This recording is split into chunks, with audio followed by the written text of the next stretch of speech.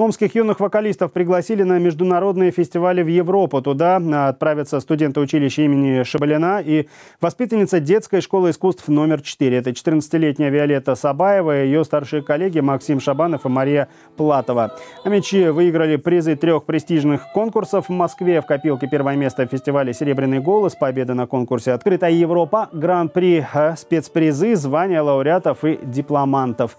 Но главное, иностранное жюри пригласило ребят на фестивали в Чехию, Австрию, Сербию и Италию. Я думаю, что это очень много значит для Омска в целом, для Омской школы, потому что наша музыкальная школа поистине ценится во многих городах. Это заслуга наших педагогов Натальи Ивановны Огневой, Рыси Семеновны Костиковой. Мы им благодарны, потому что действительно не зря отметили о мечей такими наградами. Очень много было конкуренции. Угу. Да.